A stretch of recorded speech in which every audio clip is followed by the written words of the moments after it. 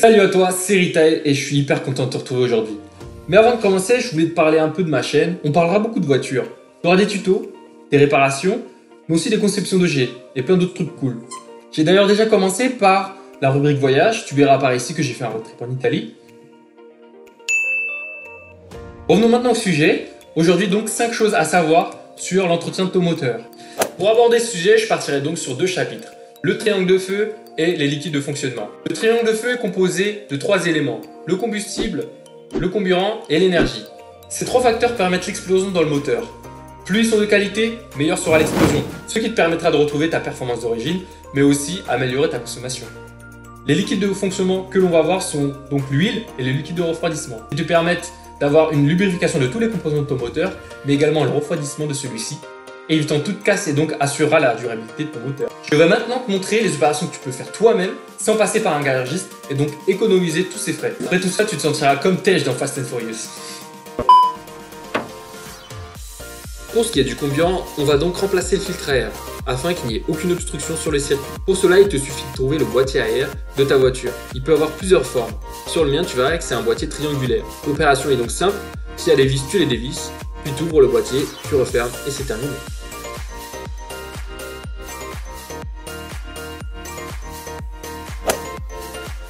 Pour ce qui est de l'électricité, on va donc agir sur les bougies. C'est les pièces à l'origine de l'étincelle qui font l'explosion et donc l'une des pièces les plus proches du triangle de feu.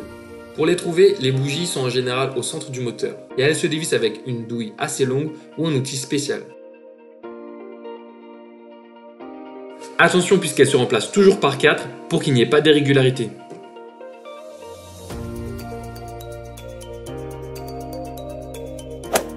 Pour rester dans l'électricité, cette partie est donc réservée aux voitures un peu plus anciennes qui ont encore un allumage mécanique.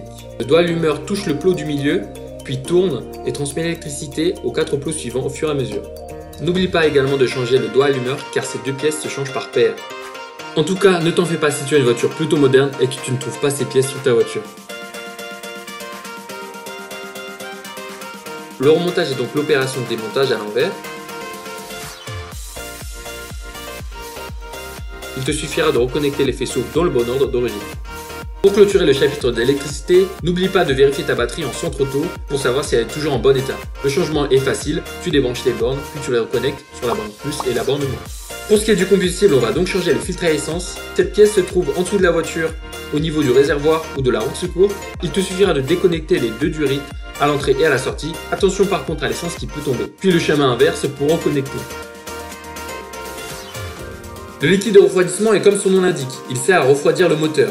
Il te suffit de vérifier que le niveau soit toujours entre le minimum et le maximum. Tu peux prendre le goulot d'une bouteille en plastique pour te servir comme un entonnoir, pour verser plus facilement.